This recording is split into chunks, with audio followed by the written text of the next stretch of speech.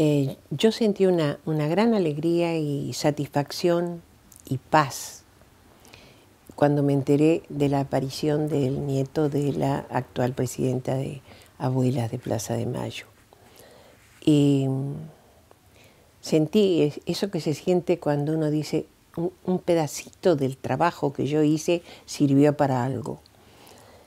Eh, muchas cosas de las que se trabajaron en todos estos treinta y tantos años eh, salen, aparecen, ayudan.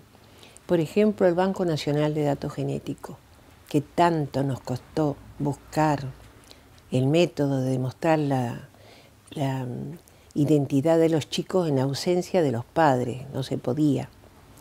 No podíamos eso, esperar encontrar nuestros nietos sin demostrarlo. Podían darnos otros chicos. Yo me sentí orgullosa del trabajo realizado durante tantos años para ese fin. Y más orgullosa y contenta aún de la reacción de la gente. Eh, yo no tengo nada que ver, salvo el pasado dedicado a ese trabajo, ¿no?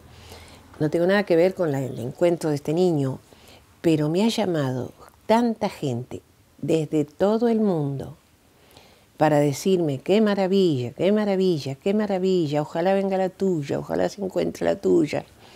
Y cientos y cientos de llamados sin descanso, teléfono tras teléfono de todos lados. Eso es una demostración de que la gente ha cambiado, que la juventud y ahora también los mayores han colocado las cosas en su lugar. Es lo que corresponde devolver los niños que faltan.